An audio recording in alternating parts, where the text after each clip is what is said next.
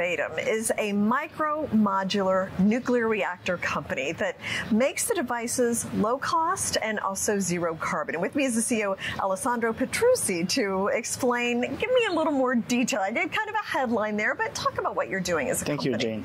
Yeah, Terra Innovatum is a macro modular nuclear solution company with them to provide low cost and uh, uh, low carbon, zero carbon uh, energy whenever the energy demand is present in, in, in the Uh, and this can be done through our product, which is called the Solo. Solo is basically a very uh, reduced and limited reactor, 10 meter cube reactor that provide energy for one megawatt electric um, in, without the need to be connected to the grid for a long time, 15 years without refueling and uh, with a low maintenance. So it perfectly match the current situation on the market where the energy demand is going to increase and also where associated with the energy demand there is the issue connected with where the energy mm-hmm. Eh, should be delivered to the end user, the cost of the transmission line. With our solution, basically we can eliminate the cost of the transmission line because we are behind the meter application. Recently, Terra Innovatum announces uh, um, way to public uh, to be public on Nasdaq through a merger acquisition with uh, uh, GSR uh, Corporation.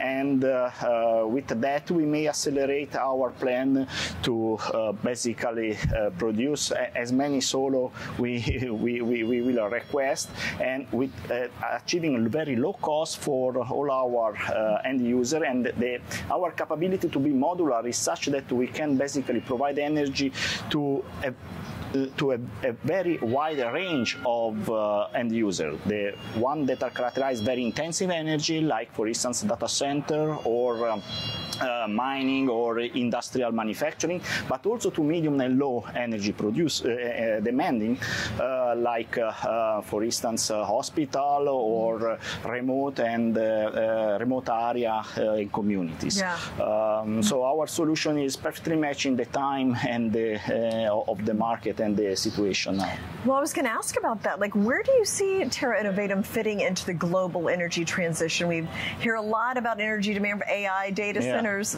remote industries. It feels like the energy kind of mix and makeup is changing a lot. Where do you yeah. see your company fitting? Okay, the energy demand, the, the, the, demand for a clean and reliable energy is obviously, as you know, uh, growing uh, in the market.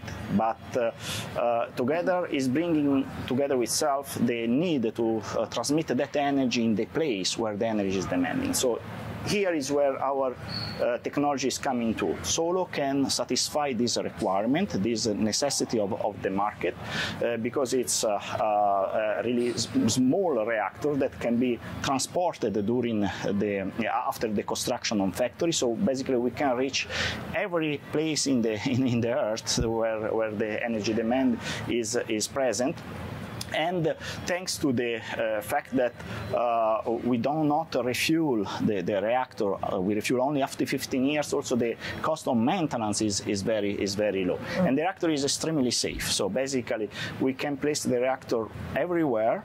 And one of the questions that we usually we receive is, uh, is that really feasible? And the answer is yes, because the size of the reactor we have is similar to what is uh, uh, a research reactor. You may know that there are several research reactors, even in the United States. There are more than 30 research reactors, and they are located in a very high dense populated area. One of these is, for instance, the uh, reactor at uh, MIT in Boston. Uh, is, is, there since 1958, so more than 60 years. It's 66 megawatt thermal, so even larger than us. And basically, the population didn't even realize that it's there because it's a different concept of the reactor. The, the vision that we have is basically to bring the nuclear energy very close to the energy produced by a traditional traditional um, conventional um, energy producer. Uh, the, the, the, issue with the nuclear energy is that whenever you shut down the reactor, you stop the reactor, actually the energy continue to be produced.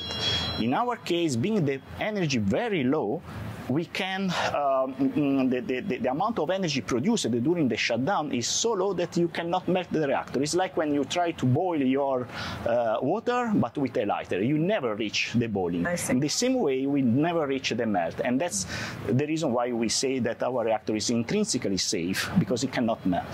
How do you differ from other advanced nuclear companies? There are several aspects, uh, but definitely I can mention three, which correspond also to the high-level requirements we have set when we conceived the reactor in 2018.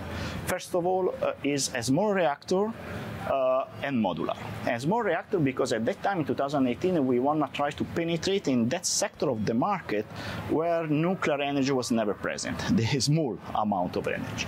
And uh, obviously we know that one megawatt electric is not so much. We need more energy, and that's the reason why we uh, we really developed the concept of modularity. And with our modularity, we can reach uh, power of up, to one gigawatt electric. So basically, you can have 1,000 of reactor of Solo reactor in a circumference with whose diameter is less than three quarter of miles. And uh, having 1,000 of these reactors, thanks to the modularity, what does it mean? It means that if one or two of those reactors fail for whatever reason, still you have 998 or 999 reactors that work. The second aspect is related with uh, what I said before, the power. We decide to go down with the power because we want something that is extremely safe.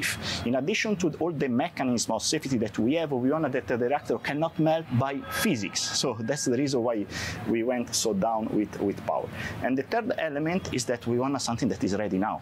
And that's the reason why we select material, component, and in particular fuel, which is available nowadays, that has been already developed, licensed, and adopted by the nuclear industry in the last 60 years. Mm -hmm. So that's the reason why with that solution, basically we de-risk the licensing because all component material have already passed uh, licensing steps, even though not with us, but with our yeah. predecessor.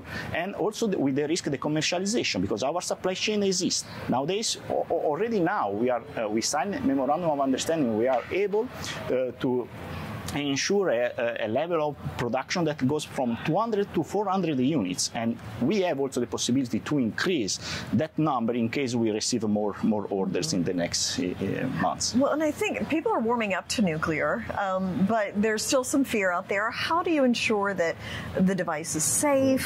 How's the public protected? This is uh, uh, actually the the the, the, real challenge that we have to do in the next uh, years. Not only us, but also our mm. our the competitors, education. the education. Uh -huh. Yes, uh, the reactor, as I told you, is uh, is safe because it's or is safer than other reactor, even though it's not correctly from technical point of view to say that because it's low power. So with low power, basically you cannot uh, experience this melting of the reactor.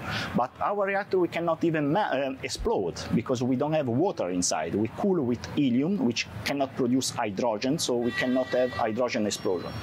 And in, in addition, to all of those two aspects, we have a biological shield, which is uh, an encasement of concrete, two and a half meter thick, that protects the uh, the people by radiation from the radiation produced by the reactor. So basically, you can stay stay there 24 hours a day, 365 days per year, and you receive an amount of dose. It's called a dose, similar to what you receive when you do a chest ray, chest okay. X-ray in 10 years. So basically, it is very very limited. It's well below the uh, legal acceptance. And in addition to all of this, what we have? We have uh, several diverse and redundant safety systems. What does mean diverse? Diverse means that from physical point of view, they act under different physical principle, okay? And each of these uh, mechanisms has internally different redundancy. So in case one fails, another one will intervene. We have calculated that the combination of the failure of all of these is such that basically one accident can occur in in a time that is something like 10 to the 6, 10 to the 7 years. So uh, something like millions, 10 millions of, of years. So practically zero, uh, zero, uh, uh, zero risk. Interesting. Okay. Thank you so much. Thank you.